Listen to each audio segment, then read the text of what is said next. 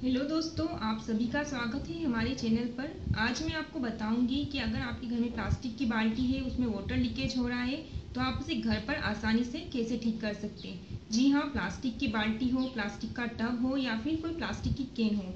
अगर उसमें water leakage हो रहा है तो आप उसे घर बैठे आसानी से ठीक कर सकते हैं, जिसके बारे में आज मैं आपको अपने इस वीडियो में जानकारी दूँगी। पर उससे पहले अगर आप हमारे चैनल पर नए हैं तो पहले हमारे चैनल को सब्सक्राइब कर लीजिए। तो चलिए शुरू करते हैं। तो देखिए, आप देख सकते हैं कि प्लास्टिक की बाल्टी बिल्कुल नई दिख रही है, लेकिन इसमें वाटर लीकेज हो रहा है। ये एक जगह से क्रेक हो गई है, जहाँ पर से इसमें वाटर लीकेज हो रहा है, जो मैं आपको दिखाऊँगी। आप देख सकते हैं कि यहाँ से इस बाल्टी में क्रेक हुआ है। तो आज मैं आपको इसे ही रिपेयर करना बताऊँगी। उससे पहले मैं आपको इसमें पानी डाल के दिखा देती हूँ कि कहाँ से इसमें पानी लीक हो रहा है।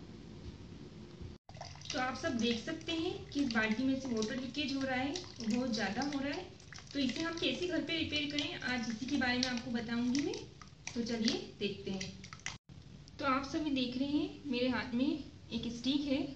इसे हॉट ग्लू स्टिक बोलते हैं, जो मार्केट में इजीली अवेलेबल है। ये आपको दस रुपये तक मार्केट में मिल जाएगी आसानी से। तो आप उसे ले लीजिए। और ये हॉट ग्लू स्टिक है तो इसलिए हमें इसे गर्म कर कर बाल्टी पर जहाँ पर भी होल हो या फिर जहाँ से भी वो डैमेज हो रही हो, उस पर लगाना है। तो चलिए मैं आपको बताती हूँ कि आप इसको कैसे लगाएँ। तो ये देखिए हॉट ग्लू स्टिक है। इसे हम इस कैंडल की सहायता से थोड़ा सा गर्म करेंगे। गर्म होती ही मेल्ट होने लगेगी। आप देख सकते हैं। और इसे हम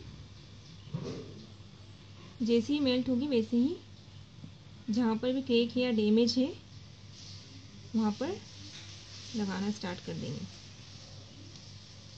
इसको हम और गर्म करेंगे।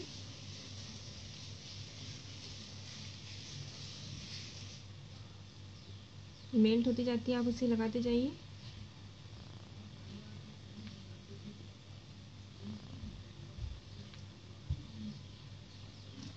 ये इजीली चिपकती जाएगी।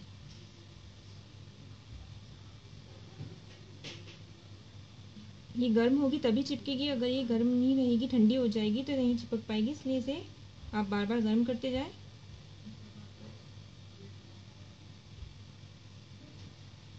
और एक बात का भी आप ध्यान रखें कि आप जिस भी चीज़ पर चिपका रहे हैं, ग्लू स्टिक को तो वो भी गीला नहीं होना चाहिए वो बर्तन। या फिर प्लास्टिक का टब हो, जो भी आपकी चीज़ है, प्लास्टिक की, आप किसी भी चीज़ पे इसको ट्राई कर हो गीला नहीं होना चाहिए, वो सूखा होना चाहिए। अगर गीला है तो उसे आप सुखा लें, क्योंकि गीले पे ये चिपकेगी नहीं, गीले पे ढंग से वर्क नहीं करेगी तो उसे आप सुखा लें। तो मैंने इसे देखिए, आप नीचे तक लगा लिया, जहाँ तक इसमें क्रेक है।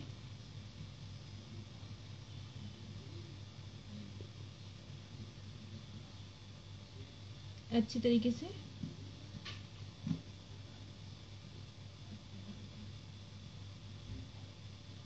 हम देख लें कि सब जगह लग गई है कि नहीं लगी है ठीक से।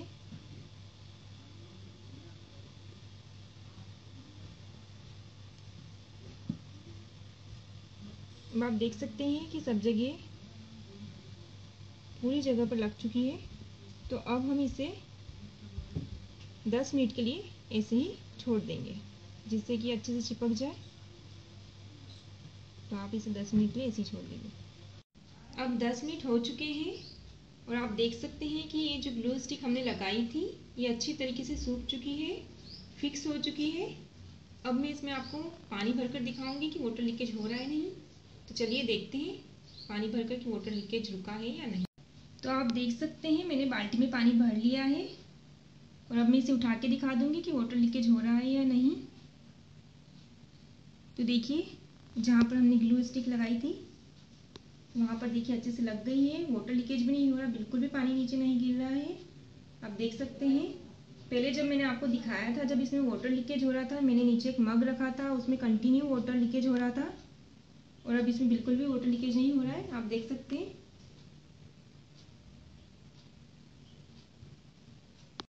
तो ये बहुत ही आसान और सस्ता तरीका है जो मैंने आपको बताया है। इससे आप घर पर आसानी से अपनी प्लास्टिक की बाल्टी हो, टब हो, केन हो, किसी भी चीज़ को आसानी से आप ठीक कर सकते हैं। तो अगर आपको ये तरीका अच्छा लगा हो तो वीडियो को लाइक करें, शेयर करें और चैनल को सब्सक्राइब करना ना भूलें।